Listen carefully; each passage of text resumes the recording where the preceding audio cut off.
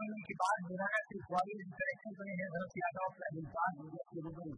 इस दौरान उन्होंने कहा कि ज़िले को विकसित करने और आम लोगों की समस्याओं के लिए तत्पर रहेंगे हम शिक्षा स्वास्थ्य और लोगों को पीने का तापमान मिले इसका